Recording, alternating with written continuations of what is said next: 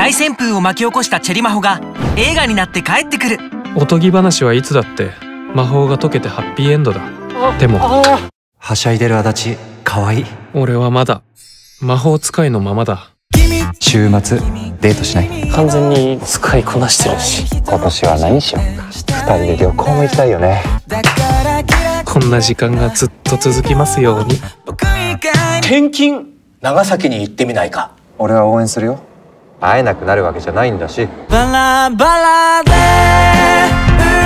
俺が重荷になってるのかもしれない。黒沢は何を考えてるんだろう。思ってることは言葉にしないと伝わらないぞ。足立さんが。黒沢が俺に変わるきっかけをくれました。純度100%ピュアすぎる2人の恋の行方は？足立チェリマホザムービー。30歳まで童貞だと魔法使いになれるらしい。もったいなくて食べられない。食べろよ。無理